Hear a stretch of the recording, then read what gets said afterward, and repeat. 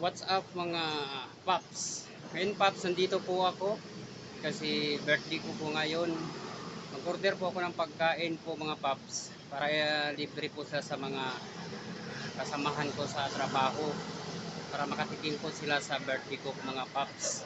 Ngayon paps, mag-order po ako sa mini stop ng pagkain para ibigay ko po sa kanila para makatikim mo naman sila sa birthday ko paps. Ngayon paps, ah papasok po ako sa mini stop para magbibili ng pagkain.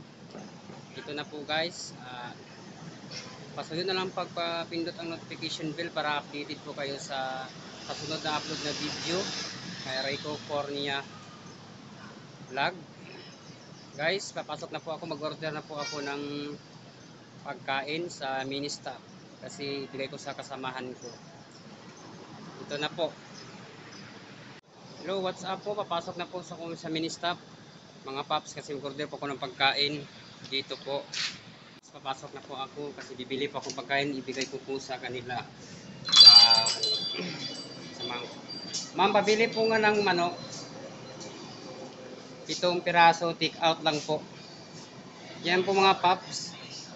Pin, ah, Pakisa lang po face mask. Ito po. Na po siya. Sige po. Ilan po? Seven, take Na out. one piece. Oh, dalawang kanin po. Lahat, uh, sabi na one piece tapos 79 rice. Opo. I ano mo na lang ma'am, i ihalo mo na lang ang pagkain, pa- dalawa, yung rice. Yan na po, Paps. Birthday ko kasi ngayon, ibigay ko sa kasamahan ko, eh, libre sila. Yan. Ito po, ma'am, oh. Itong order, ma'am.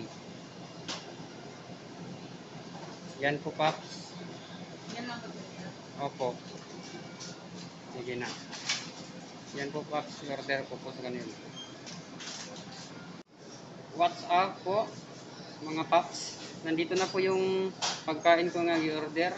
Ibigay ko na po sa kasamahan ko ngayon sa trabaho. Yan na po mga Paps. Para makatikim sila sa birthday ko ngayon na araw. Me, 20. 40 na po yung edad ko ngayon po mga Paps. 40. Bigay ko po to sa kanila.